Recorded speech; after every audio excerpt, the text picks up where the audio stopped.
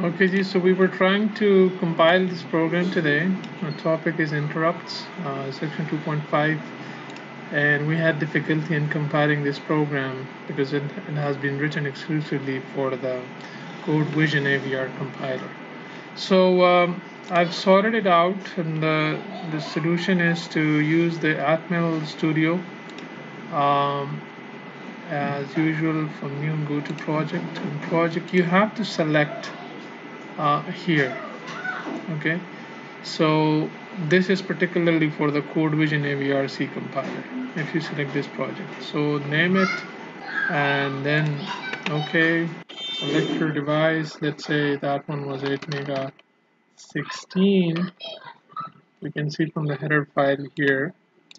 Uh, so select the device there ATmega16 okay. And let's open it uh, and now you got the CEC file here. So what you do here is just bring in that copy paste this code there. Um,